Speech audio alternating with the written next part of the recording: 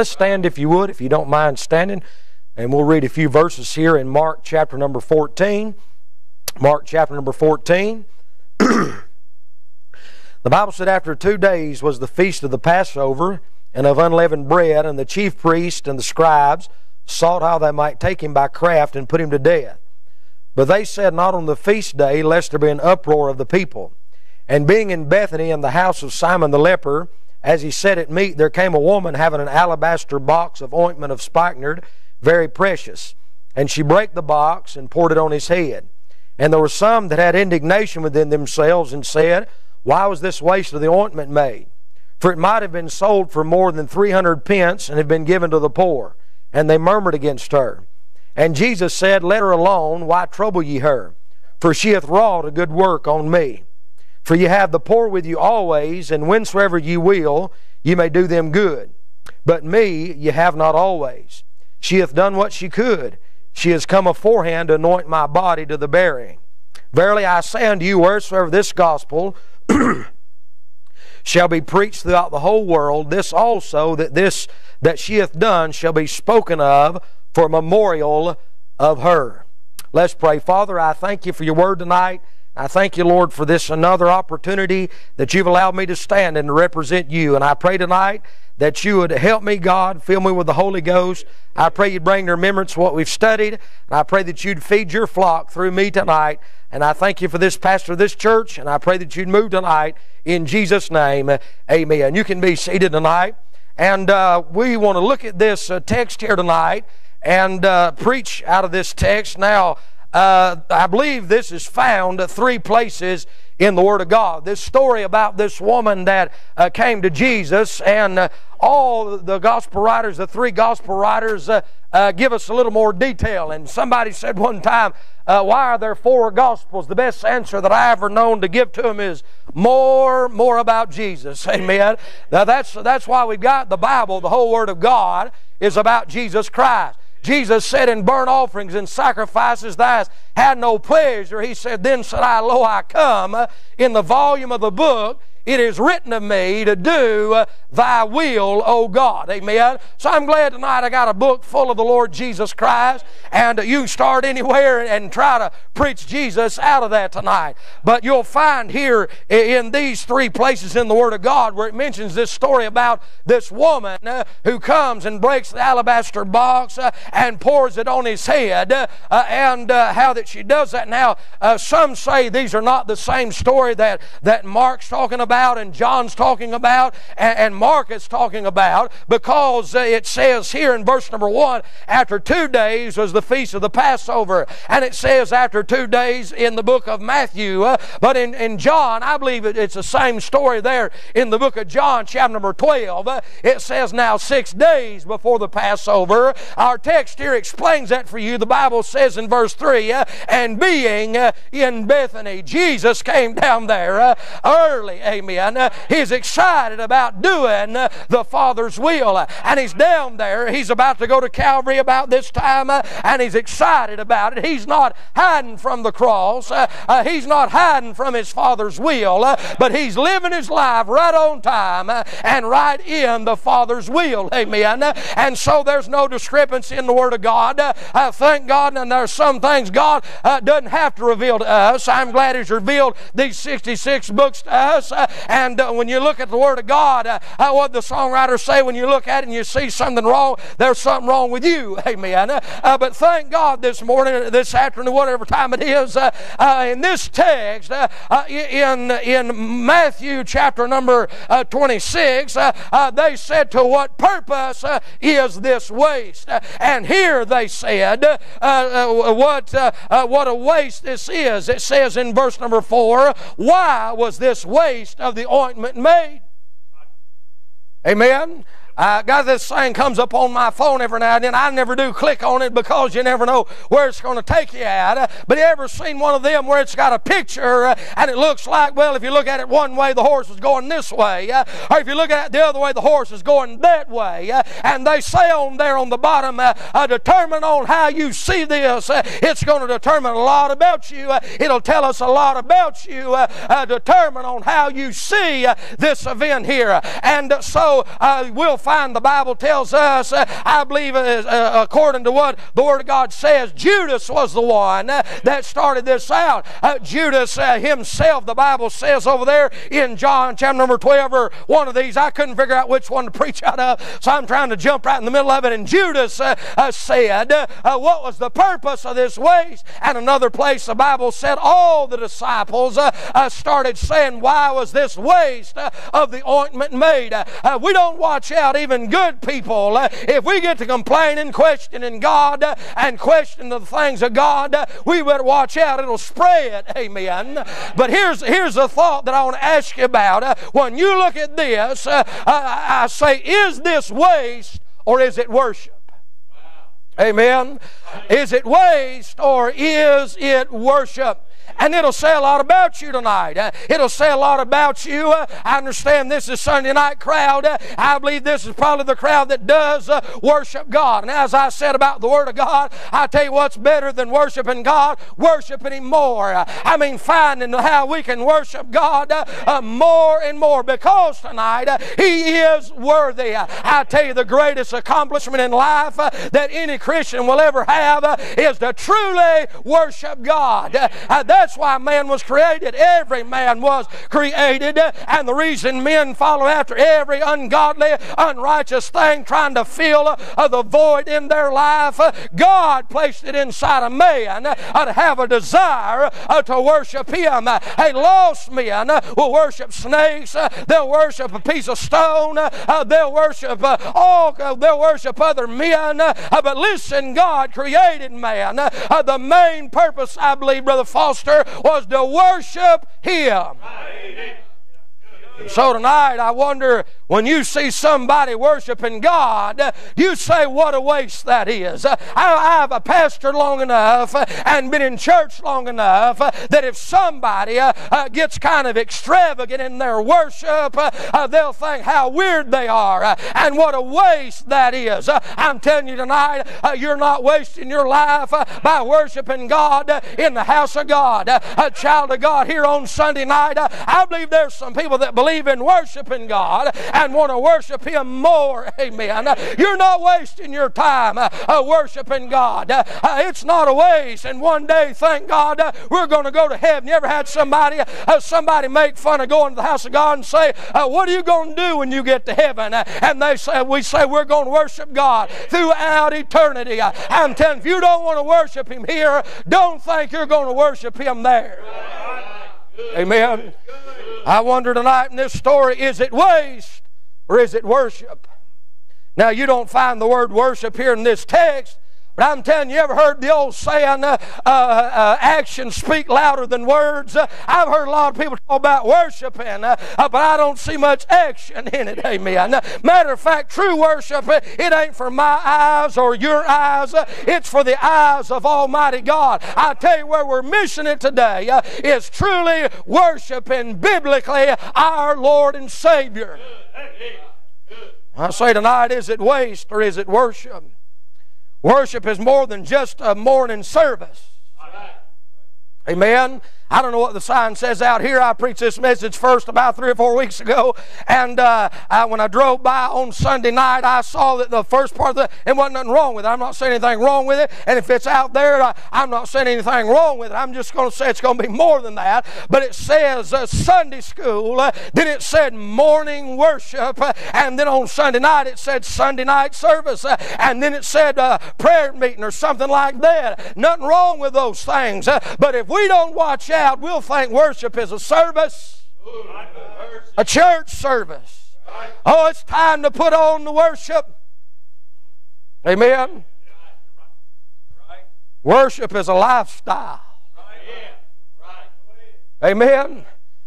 Uh, uh, worship is more than just a morning service. Uh, the, the old, I remember Brother uh, James Rowland. Anybody here know Brother Jim Rowland? Uh, his father, James Rowland, down there. Uh, he is an old drunk that got saved by the grace of God. I remember times I, I, I hadn't been around. I got saved in the Southern Baptist Church. Thank God for a man of God that preached the King James Bible and preached the Word of God. and the Holy Ghost got me under conviction. and I got saved about 3 o'clock in the morning, sitting on a bicycle in 1990. say, what you doing out there at 3 o'clock in the morning? I knew if I, if I died in my sleep, uh, I was going to hell.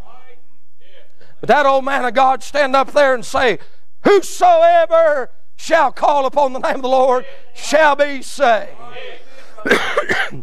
Sometime later I heard a song that said, Whosoever meaneth me. Was this yours from this morning? There's no ice left in it. Amen. I'm not drinking anyway. I'm thirsty. It's all right. Amen. Praise the Lord.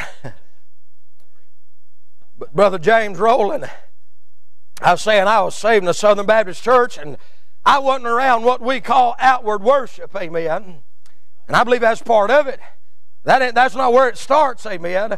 Old brother James Rowland, we'd, we'd head down there at Rossville, Georgia, and he'd already been there, no telling how long he'd been there in the house of God. He was already standing out there at the altar, and you think, who's he talking to? His tears flowing down his cheek, and he is worshiping God right there for anybody got there, amen. And we got in there uh, just in time, get down to the prayer meeting, and went down in there, and he said, Did I ever tell y'all? He told us over and over again about how God saved a drunk.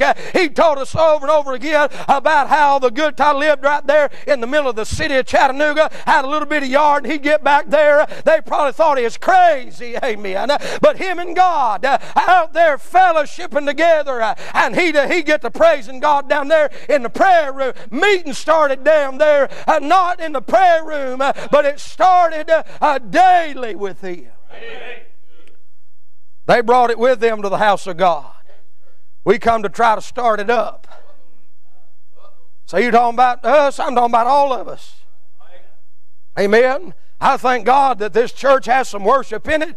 But you know what? I, I know it don't just start. I, I hope it don't start. I hope there's somebody not just sitting here and it, it's not, you're just throwing up your hand to fit in with the crowd. Uh, you're saying amen just to fit in with the crowd. Uh, I hope it's coming out of your heart. Uh, hey, I, I'm not saying you got to feel like worshiping God. We ought to worship Him whether we feel like it or not. Hey, there's been times I've had to tell my flesh, be quiet. I'm going to say amen to the preacher. Be quiet. I'm going to, I'm going to uh, sing praises unto my God. God. Anybody else talk to yourself here tonight? You got born again. You got a new nature on the inside. And the greatest desire of a born again child of God is worshiping their Creator. I believe that's really where we're missing it at. It's, it's a lifestyle. I like what Jesus said about her in verse number 8. He said, She hath done what she could.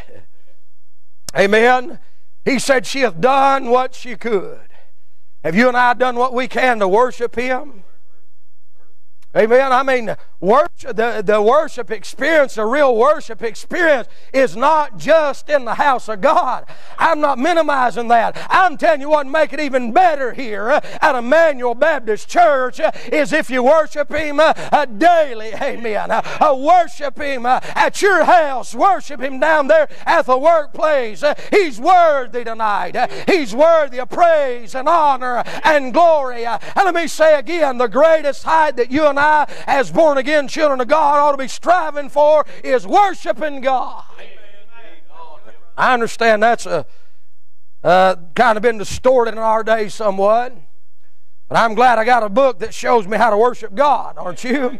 I'm glad I got a book that shows me about how God is to be worshiped. Do you know worshiping God uh, will add to the gospel message? Amen. So, how do you know? Look at what Jesus said. Jesus said in verse 9, Verily I say unto you, wheresoever this gospel shall be preached throughout the whole world, this also that she hath done shall be spoken of for a memorial of her. There may be people come in here and they say, I don't believe a word that went on down there, but I believe they believe it. Now, what Brother Roloff said, you ever heard Brother Roloff talk about that? Said, I mean, they had them protracted meetings and go on for weeks. He said there was a man that sat back and listened. He came to every single service and listened to the preacher for week after week. And he said, finally made his way back to him. And he said, Have you enjoyed uh, what you've heard? And he said, I don't believe a word of it. Brother Roloff said, Well, why you been coming week after week? He said, Because I believe you believe it. Yeah.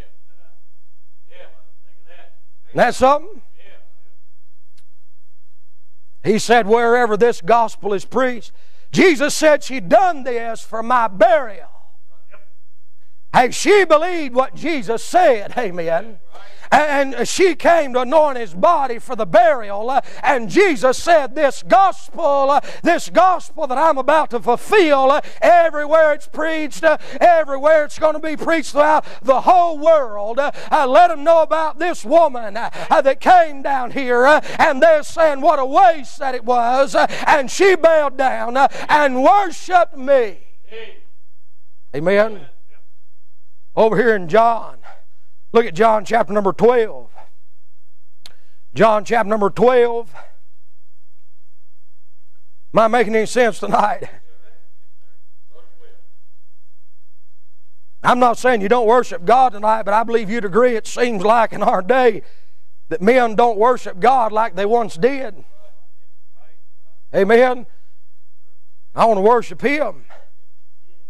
The Bible said in John 12, verse number 1 Then Jesus, six days before the Passover, came to Bethany, where Lazarus was, which had been dead, whom he raised from the dead. There they made him a supper, and Martha served, but Lazarus was one of them that sat at the table with him. Then took Mary a pound of ointment of spikenard, very costly, and anointed the feet of Jesus, and wiped his feet with her hair. And the house was filled with the odor of the ointment. Now, the, that, that ointment, that odor in the Old Testament deals with worship. Isn't that right? Let me ask you tonight what's your odor? Amen. What kind of odor you got down there at the workplace? Now, I'm preaching myself under conviction. Now, I'm not preaching to you what I've arrived to tonight, but the Holy Ghost on the inside. I want my odor at my home uh, to be that of worshiping God. Man, what's your odor tonight? You, you send off an odor of worship? That's what I want to do. Too many times I've not. Amen. Hey, too many times I've not. But I'm telling you what tonight, uh, this woman decided, uh, she chose, uh, and she said, I, I, what, uh, no doubt it sounds like she said, What can I do? Uh, what can I do? Uh, and Jesus said she has done what she could. I can tell you biblically tonight what we can do to worship God, and I'm going to try to do some of that here for a little while, but only God can tell you to line up with the Word of God. Amen. We don't need biker church. We don't need cowboy church. Amen. We don't need a hunting church. We need church. Bible church. Worship God. Amen. Say, what are you talking about? I'm talking about worshiping God. Amen. I'm trying to get it out the best I can tonight, but how, how is it tonight? Is it waste or worship? When your husband or your wife wants to worship God, do you think they're wasting their time? I know that's really digging down deep in the heart. But hey, old David got to worshiping God out there, and his wife looked out the window and despised him. When he come in, she let him know. He said, You think that's bad, you wait till tomorrow. right. Yeah. Glory. Amen. He said, I'm going to dance for my Lord. And it wasn't some seductive dance. It's some Bible thing. Amen. I ain't got time to go into all of that. A lot of this so-called dance and praise. Uh, all this stuff going on in our day the pastor talked about. It's not Bible worship. God just said, go back to that odor. Maybe, maybe there's some odor I can't smell that he's smelling that's going on about this message tonight. Amen? How is it? How, how is it waste or worship? Well, I, it's all right, just do mind the Lord. Amen. That's what you said. When that husband wants to do more for the Lord to worship God, and you want to buck up against it. Oh, the other way around. The man of God wants to say, this is how I believe we ought to worship God, and this, this is how we ought to serve God. Boy, that's a bad odor. Amen. So here tonight, I'm not trying to be mean or mad. I'm just trying to preach tonight. Where's worship gone? Thank God for people that worship. Amen. I, and I don't know Brother Philip, and from what I've heard, he believes in worshiping God. But I, I say this, Kylie, only God really knows whether it's real. I believe it is. You see what I'm saying? Uh, but hey, real worship uh, will come out of you. Amen. Uh, but it's got to get in you to come out of you. It'll be Bible based. Um, so here tonight, uh, the pastor he finished off this morning, or about the second to last point about worship. Last place I preached this out in Oklahoma, uh, and it was a meeting uh, Saturday through uh, Sunday, about uh, four or five uh, different services, uh, and every message out there, the preacher said something about worship. And I was the last preacher, and I had this message on my heart. The preacher come up on, on Saturday morning and said, just relax, you ain't going to get to preach, you're going to close it all out. He said, you're going to finish them all off. So maybe I'll get to finish you off tonight. I'm just kidding. Amen. I was sitting there burning to preach, but I got up and I said, I, th- I know I'm right where God had me to be. I said the whole meeting has been about, uh, or somebody said something in every message about worshiping God. And I said to them, I said, has this meeting been a, a waste of time or a time of worship? Has this Sunday been a waste of time for you? A time of worship? Amen? Well, there, there's a, a definition, a definition of the word worship. By the way, it's, it's not necessarily an outward thing. I, I thank God uh, for all of, uh, things about worship. But if it don't start inside, amen.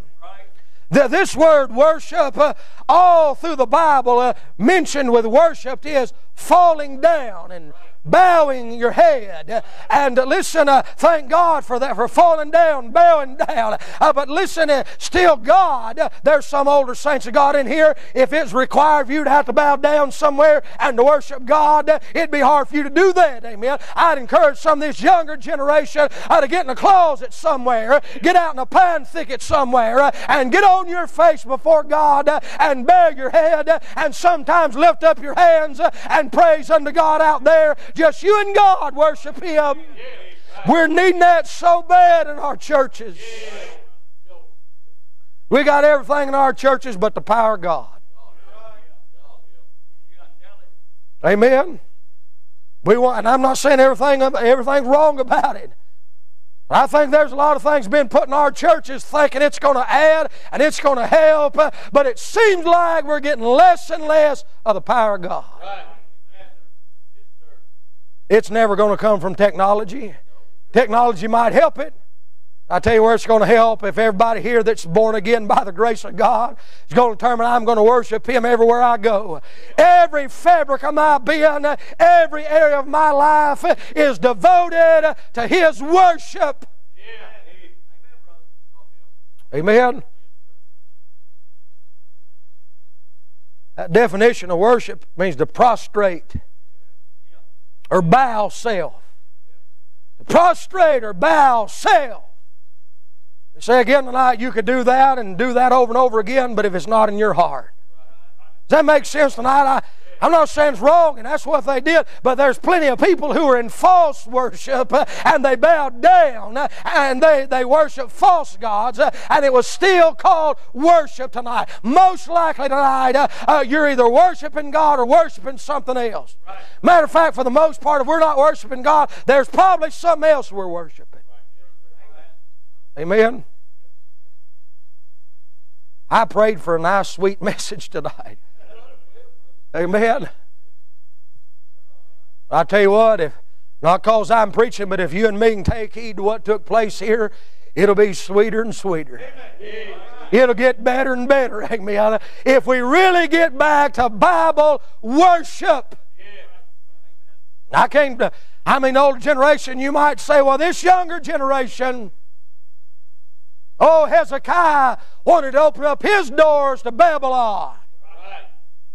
Went to Babylon.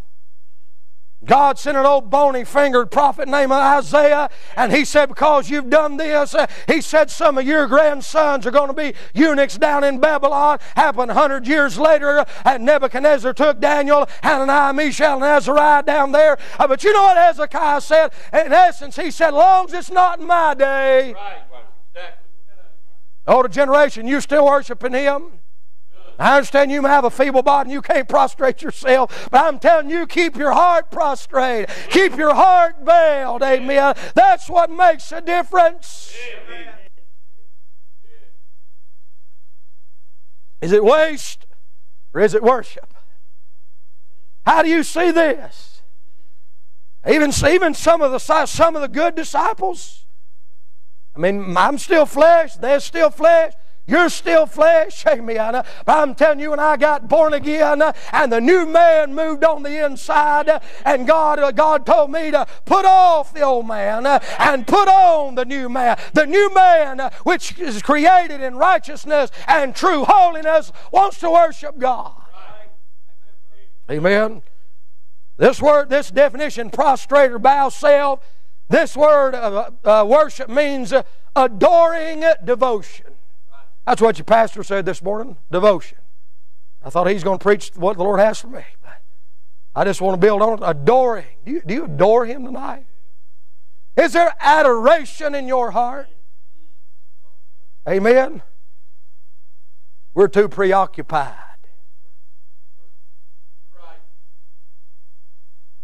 You know why they worship God? We, we can talk about the good old days.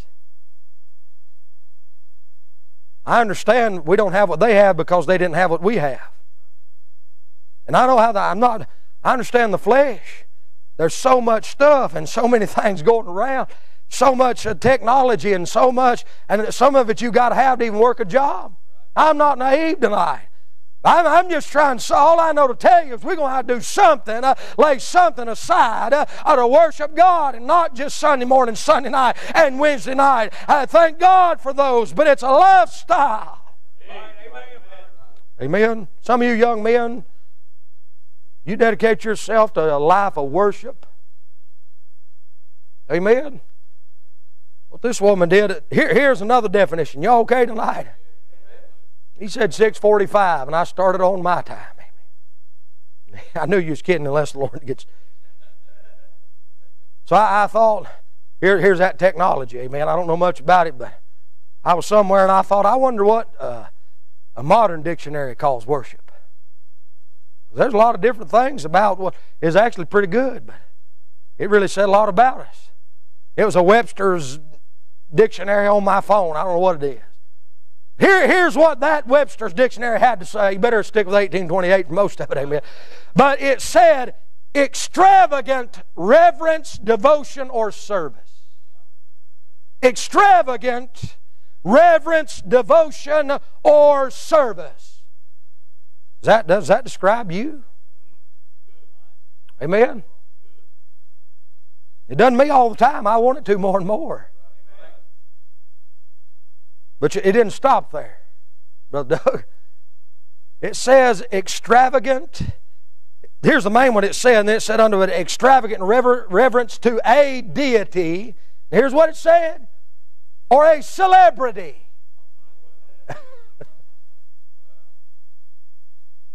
Amen. Where would your attention be if your favorite television program actor came in? There's a, there was a time that's called vagabonds. Didn't have nothing else better to do than get some job being an actor and dressing like who they weren't. And they're worse than they were then. Your favorite ball player was to walk in. Amen? Oh, you set up and look. Look who showed up. And we won't pray for God to show up. Amen? My, it's all right tonight. extravagant, extravagant reverence uh, and devotion uh, and service to Almighty God. Boy, we spent so much time trying to back up President Trump. And we should have, amen. It, it was sad that we had to vote in a man that was such immoral. Amen. Sad a man like that had more sense than about everybody else up there and did good common sense things. I'll get back on y'all's good side, all right. Oh, we, we think that the Oval Office, God sits down there below it. Oh, no, well, well does he sit right there beside it? Just, just a little above it? Now, my Bible tells me that he's far above all principality and power. He's seated on the throne tonight, amen. There ain't going to be any election, thank God. Uh, there ain't going to be any stealing of it. He's God, Almighty God tonight. And He's far above all principality and power. I say, be an American like, like you ought to be uh, and take the right. Say, God, I believe He's given to this nation. But I'm telling you what, uh, you'll be a better citizen of the United States uh, if you'll see the full view uh, of being a citizen of heaven tonight. I'm no longer a stranger and a foreigner. I'm a fellow citizen with the saints and of the household of God tonight. Good. That's why I want to worship Him. That's why driving the roads and wearing this body out and my family. I'm not complaining tonight. That's why it's worth it. He's worthy of worship tonight. It ain't a waste of time, it's, it's worship. Amen. I see definition of worship. I see direction in the Word of God for worship. Jesus there in John chapter number 4, he come to that woman. I love that story. I was to preach last time I was here. Amen. Something about that well. Let me find out where I can get where I don't have to take too long. But Jesus starts dealing with her about that living water, and she said, Give me this water that I neither I don't come here to draw anymore. Jesus said, Go get your husband. Amen. Say, preacher was meddling. Jesus liked to meddle. Only thing about Jesus is Jesus knew he wasn't just meddling, he knew. Yeah. Amen. She said, I perceive you're a prophet. When he told her you've had five husbands. Uh, and she said, Our fathers worshipped in this mountain. He said, and you say, you Jews say that Jerusalem is where men ought to worship. He said, the time's coming when neither at Jerusalem or here. Uh, he said, but the true worshipers are going to worship God. I'm not getting exactly right there. Jesus said, uh, uh, the true worshipers, uh, the ones that worship biblically, amen. He said, God is a spirit. And they that worship him must worship him in spirit, little s, amen, their spirit and in truth. And that, that links God's spirit. Yeah. Amen? That's why I'm, I'm, not trying to be a mean Baptist when I tell uh, the Pentecostals that sometimes come and say uh, the way I preach or the way uh, our family tries to dress, something like that, and they say, You Pentecostal? I say, No, I'm not Pentecostal. I don't get mad with them, but I try to share some Bible truth, and if they give me that much time, amen. Uh, but listen, uh, uh, it's sad, it's sad when false worship is seen as worshiping God, and people that say they have the truth. Amen. We got direction how to worship God, don't we? Jesus said, God is a spirit, and they that worship Him must worship Him in spirit and in truth. You know what God's doing right now? What God wanted this service to be here, He knew before time began it'd be here tonight. He seeketh such to worship Him. Right. You know what He'll be doing tomorrow while you're at work? He'll be seeking somebody to worship Him. Isn't that right? God's a jealous God. God's such a jealous God, He's a consuming fire. So, what does that mean, preacher? He wants all of you to worship Him. I'm trying to wind up here tonight. Hey, isn't that just reasonable? Amen present our bodies anyway. Uh, romans 12 i beseech you therefore brethren by the mercies of god that you present your bodies a living sacrifice holy acceptable unto god which is your reasonable service and be not conformed to this world but be transformed by the renewing of your mind that you may prove what is that good and acceptable and perfect will of god. How many people knew that verse? Who knows the one before it? Romans 11 last verse. Before it said i beseech you therefore he said now uh, of him, through him, and to him are all things. Boy, we can present our body to worship God when we say, hey, by the best of my ability, I'll make everything of Him, through Him, and to Him. You'll fail because we're flesh. But I'll tell you, when you fail, you'll do like Paul, oh wretched man that I am. And you'll want to worship Him more. God don't condone sin, but I'll tell you what, and I'm not saying we should sin, uh, but it seems like what's drove me to, to getting down there and telling God how sorry I was, how great He is, uh, is realizing how wicked my flesh is. Amen. I'm trying to get done here tonight. I know you're not expecting me to get done, but God's saying get to this, these other two points. Amen. Waste or worship. How do you see it tonight? We got some descriptions of worship. This is my last point here tonight some descriptions of worship. Again, this is not in the text tonight, but she took that ointment and she, that, that odor and that ointment, and she poured it on Jesus. She broke the box and poured it on Jesus. That alabaster box is worth a lot. That ointment in there was worth a lot. You know what Immanuel Baptist Church needs to do? Break the box and pour it on him. So what are you talking about? Whatever box God said you need to break, that you need to do away with, that needs to be shattered so you can worship God, do it. Amen. First place in the Word of God where the word worship is found is in Genesis chapter number 22. It's also the first place in the Bible where the word love is found. God said, Abraham, take now thy son, thine only son Isaac, whom thou lovest. First time it's mentioned about loving anything, whom thou lovest, and get thee in the mount, uh, get thee in the land of Moriah, and offer him there upon one of the mountains, uh, which I will tell thee of. You know what Abraham did? Uh, the Bible said he rose up early in the morning, he saddled his ass, uh, and he went out in that direction, uh, uh, not knowing whither he went. He left out of there Chaldees, but he didn't really know. He knew he was going to the land of Moriah. He didn't know which mountain he was going to. They finally got there after three days' journey, uh, dear friend. Uh, hey, well, I'll tell you what to keep you going through the hard times is true worship in your heart.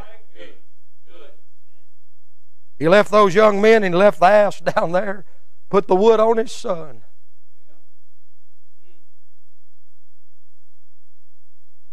The wood's got to go on his son.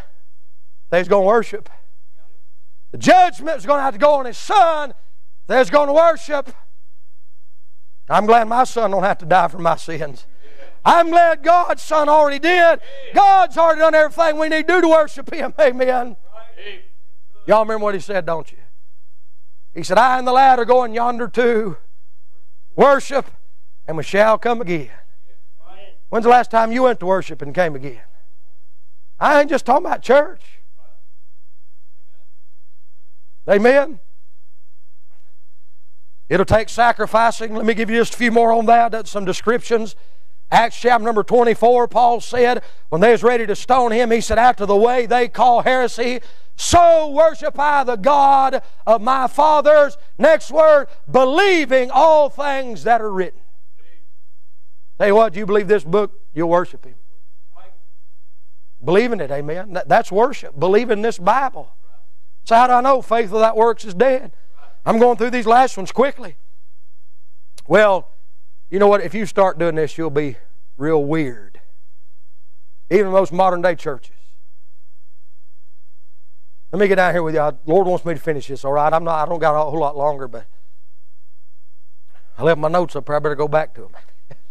get down here. I'm scared of y'all down here. What was I saying? Y'all wasn't listening. Weird. Yeah, thank you. Yeah, preachers who was I saying was weird? I'm too young for this. Amen? I know. Oh, Over there in Colossians, you know, you, you get to worshiping God, and getting rid of some things. And they'll say, Don't judge me according to a Sabbath day or a holy day. Or eating unclean things. Paul had a point there. He said, Which things have a show of wisdom and will worship? Said, Not any, any satisfying of the flesh God tells you to quit something, that don't necessarily mean somebody else needs to. If He told you to do it, you ought to do it. And if somebody quits something that God told them to quit, who are me and you to judge them for it? Say, better than thou. It'd be good to quit some things your flesh likes. Amen? Say, why, Worship. Amen. There, there's plenty of things as Americans I'm sure we could do without. That, that may be that thing tonight, that thing God's been dealing with your heart about that may not even be sinful, may not even be wrong, but hey, you're just not willing to give it up to worship God. It's probably the phone. Excuse me. Sorry. That word phone had to get out of Sorry.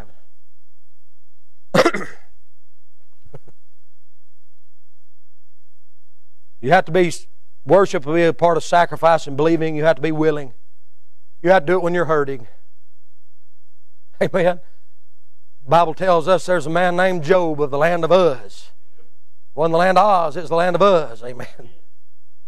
The Bible says that God said, Hast thou considered my servant Job? You ever thought about your suffering and your troubles? Is God allowing you to be considered? Maybe He's got confidence in you that if you'll trust Him, you can make it through the suffering. I don't want to be considered. I'm not saying that, amen. I'm just honest. Hast thou considered my servant Job? He said, There's none like him. And, and, and God, uh, Satan said, Does Job serve you for naught? He said, You got a hedge about him. Was that in the first chapter? Maybe that's there. In the first chapter, God said, Don't touch his flesh. The Bible said there was a uh, his sons and daughters were eating in their eldest brother's house. And then the next verse says that the Sabeans came and uh, something about a lightning bolt or something came from heaven. Uh, seemed like they was blaming God, whoever it was. But here's what I'm trying to say. Come and said, all the camels are dead, and all the cattle are dead. And Job probably thought, well, I hate they're gone, but I can live without that. You know, the Bible said while the word was still in his mouth, another one came Said while the word was yet in his mouth, he's sitting there meditating on, well, I don't have any cattle left, don't have any camels left, my finances are going to take a hit. He comes in and says, hey, and he told him about something else while it's in his mouth. And finally, one come in, he it said while it was still in the other man's mouth. He said, oh, your, your sons and daughters were in your eldest son's house. They was drinking wine and they was eating. And by the way, it's grape juice. Amen. Let me just throw that in there. I can prove that later if you need it. That ain't the message. And the Bible says Job fell down on his face, ripped his garments, shaved his head, and worshiped. You reckon he's hurting?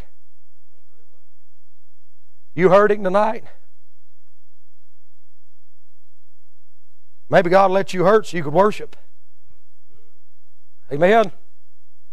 God let you hurt so you could worship. I don't know tonight.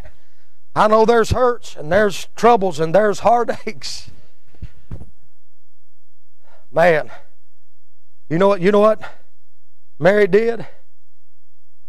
She said, I'm going to worship him even though it's costly. She said, I'm going to worship him even though it's criticized. She said, I'm going to worship him and this is the cause for it.